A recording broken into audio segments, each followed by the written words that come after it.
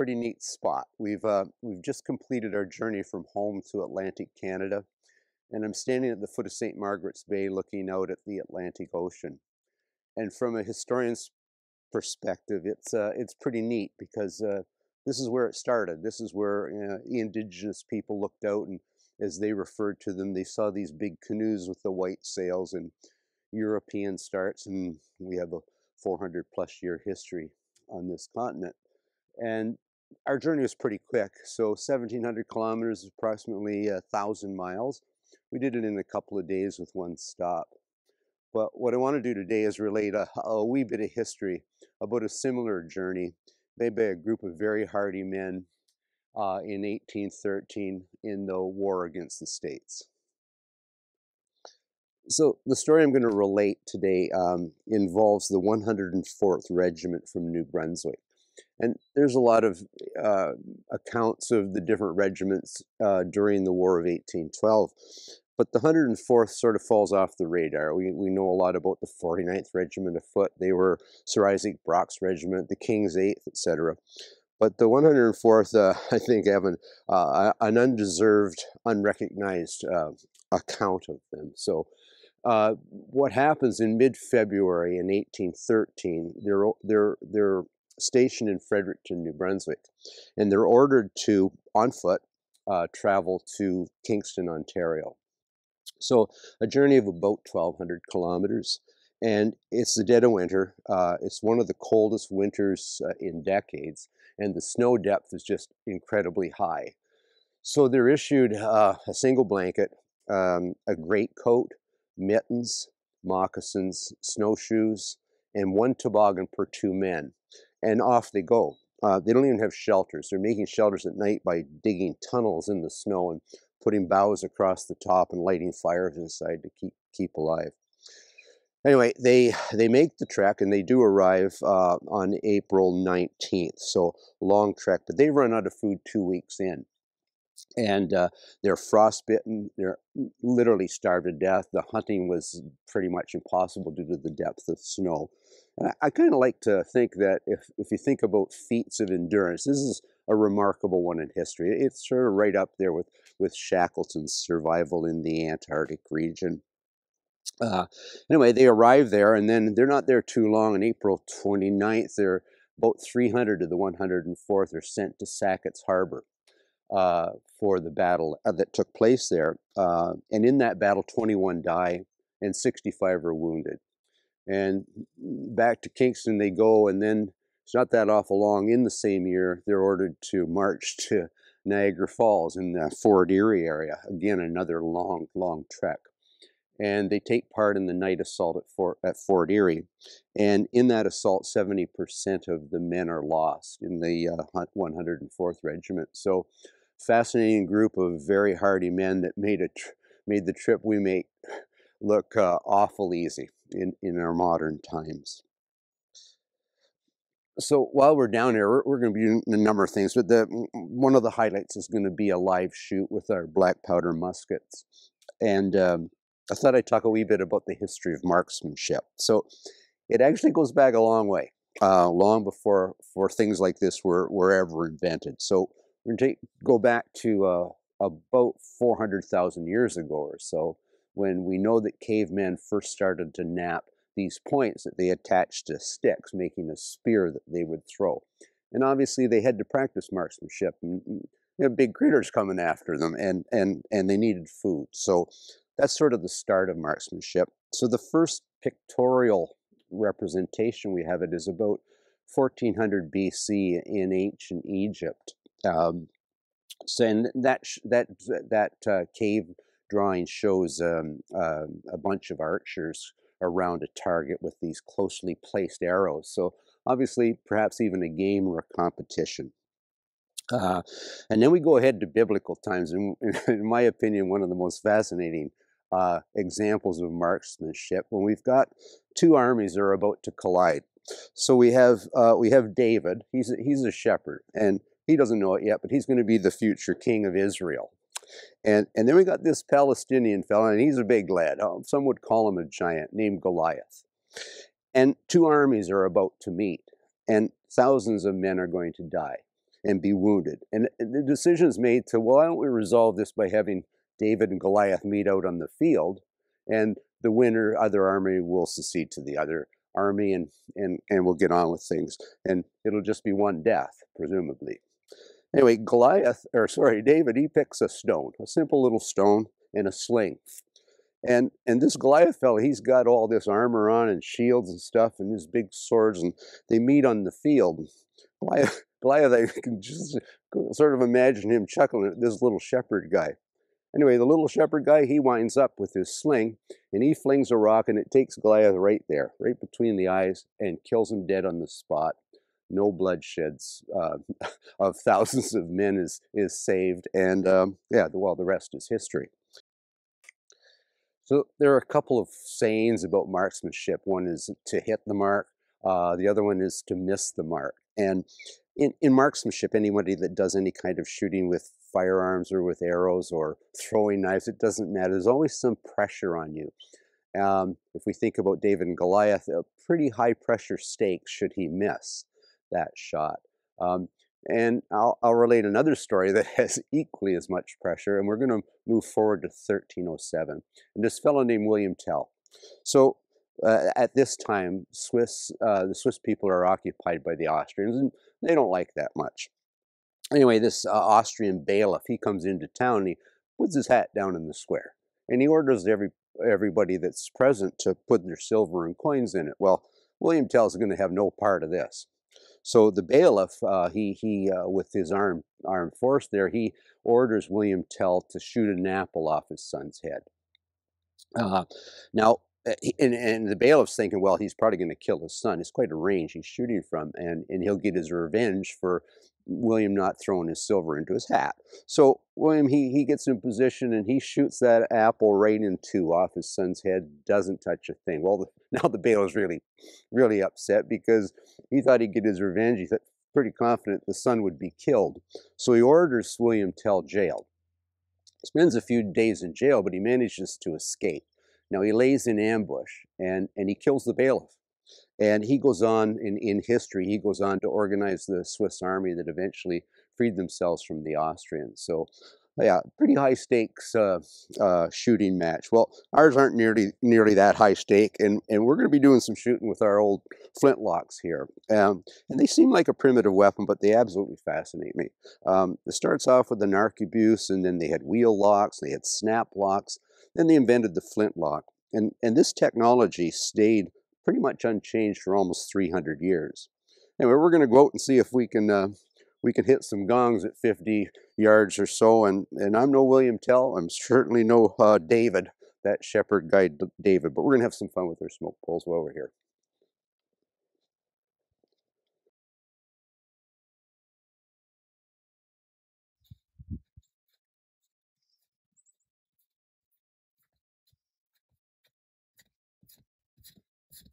This is what spring looks like in Atlantic Canada.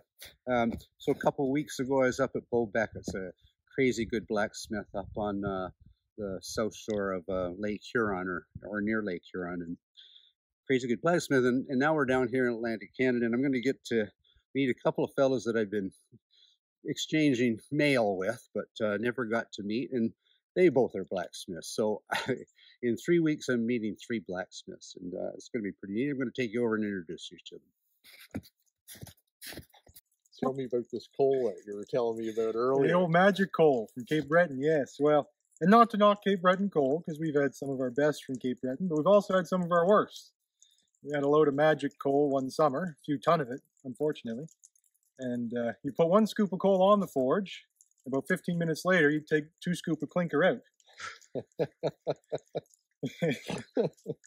Luckily, it was hot, burned hot for that 15 minute window, but that was all you got was 15.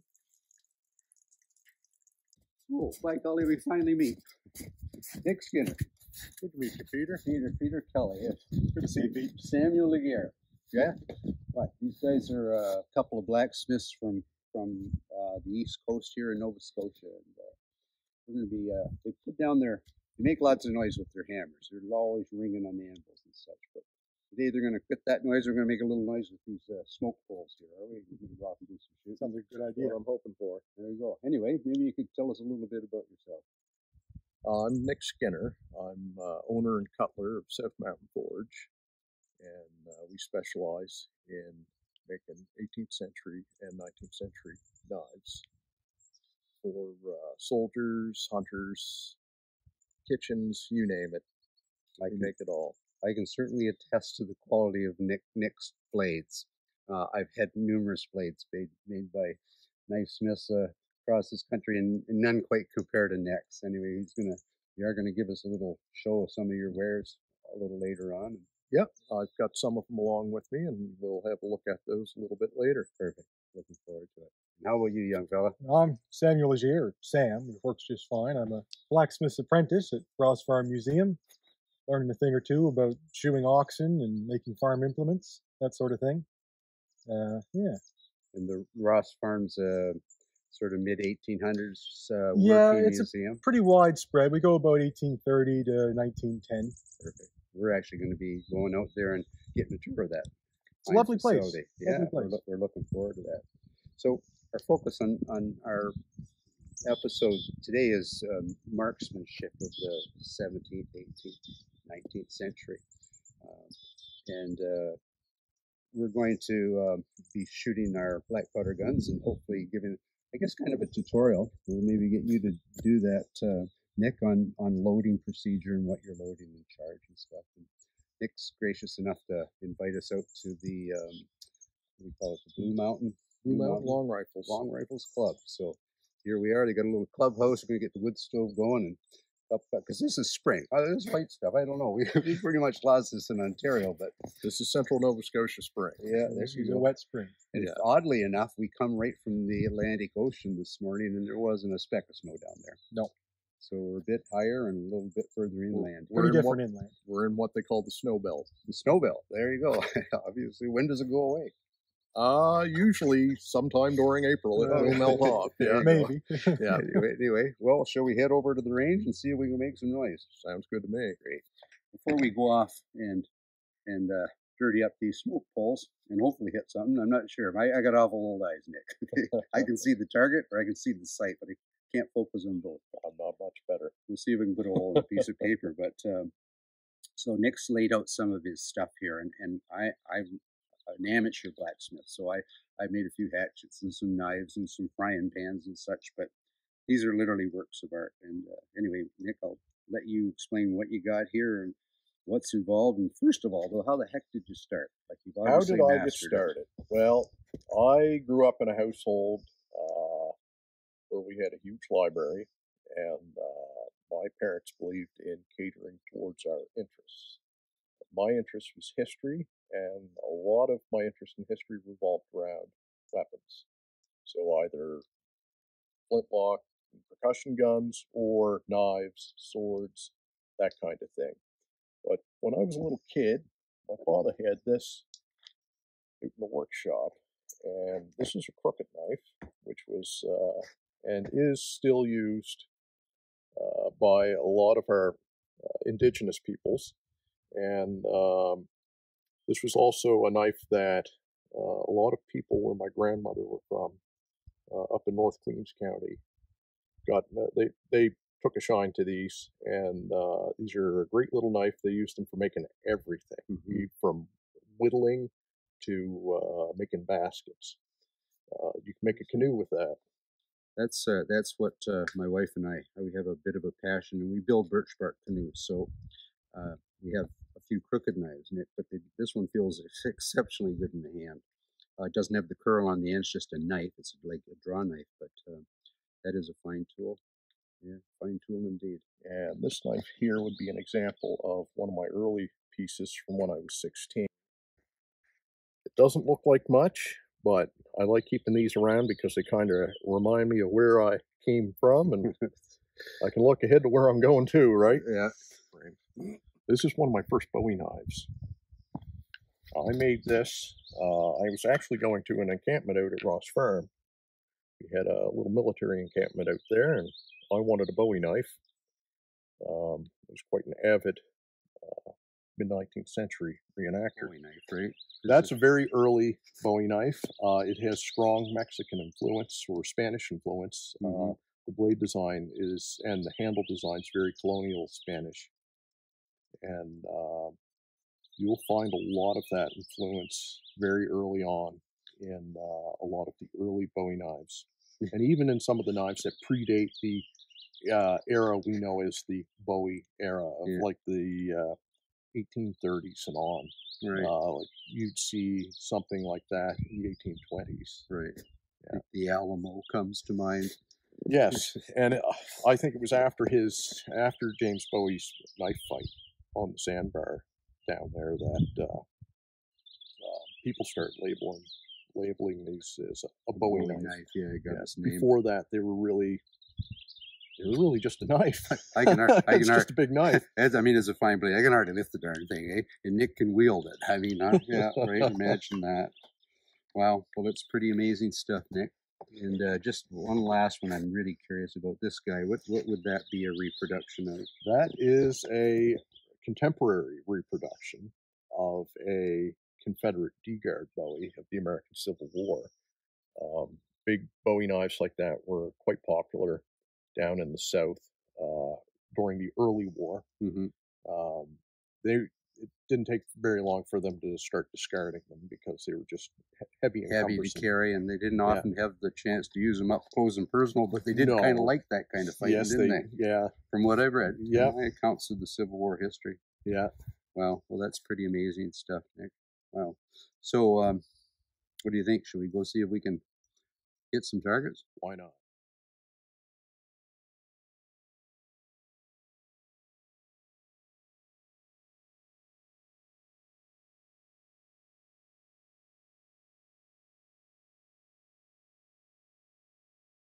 We've got our muskets ready. We're ready to head off and make some noise, but just a, a wee bit of history about uh, the flintlock musket. So um, it basically starts to come and play around 1620 with uh, without the actual uh, frizzen being float, but it had a cap sort of thing. So the musket, as we know it, from 1620, 1640, stays pretty much unchanged for 200 years until um, the, the sort of the mountain man era, the 1820s. I think about 1821, the percussion cap comes into play. So we're, we've got muskets here um, that span uh, basically a century. So we'll start with the oldest, which would be the one I'm carrying. And this would have been a, an early English trade musket. So it would be circa uh, 1690s to about 1720 or so. And it, it has a lot of French influence. So the the the Coleman, the drop in the stock, uh, which is a damn miserable thing on my cheekbone when you got a heavy charge in it. But uh, and then we're going to move from this one to yours, Nick. What, so what are you what are you Mine there? is a classic uh, mid 18th century uh, American smoothbore, and uh, it's a very near copy of one from the Lehigh Valley area of Pennsylvania. It's a beautiful one, and its caliber This is a 28 gauge, 28 gauge. Yeah. yeah, and so I'm it would be about a 56 caliber. right, and I'm shooting 62 both uh, both smooth bores. And what do you got there, Samuel? This is a Northwest trade gun, very popular, late 18th, early 19th century. Also 62 caliber, uh, as the name would imply, often traded with the indigenous. Mhm. Got a few features on it that they really liked. This nice serpent character on the side, which was sought after, and a great big old trigger guard here. Pretty handy little piece. Man, it's 62 caliber. 62 as well, yeah. Smooth bore. So the smooth bore musket, uh, we're all shooting smooth bores. Um, people say they're just inaccurate. You can't hit the side of a barn door, but that's not true. Um, take some experimentation with patch and ball size, and mine's tighter shooting than either of these two, so it's a little more finicky. Um, but they were very versatile muskets, so we can shoot single ball projectiles. We can shoot uh, shot, which we carry. We won't be doing that today, but for fowl hunting and what have you. Or if your eyesight isn't all that great, Shot shoot it with buckshot like I Shot do. works good. I, can, I hit something then. But uh, so if you think about the rifle barrels, we think about the American frontier. We think about Daniel Boone and a rifled musket. Well, rifles, I would say, for every single rifled musket in the states, there was probably seventy-five or ninety-five uh, smooth bores. They were the common man's gun and, and a much more versatile weapon. Anyway, let's go make some noise. Sounds good. Sounds good. Okay, Nick's going to go through the complete uh, loading of a flintlock musket. How uh, and Nick and I load pretty much the same. So right now the gun's in what the military would call open pannies springs, and it was the easiest uh, way to, in a non-loaded position, to to take the wear off the off the machinery, if you would. So the first thing Nick's going to do is he's going to go to half cock on his musket, and that's called the cock, not the hammer. He's going to put a vent pick in the in the vent hole. I do the same thing, and then he's going to put his powder charge in. And what I find in doing it this way is that when you've when you've packed your ball down on top of the charge, you're leaving a little tunnel into the main charge in the barrel. So at this point, Nick's going to get out uh, his powder measure. So contrary to powder or popular myth, they didn't just shake powder down from the horn. Uh, they measured it out. To just dump powder in, you would have horrible accuracy.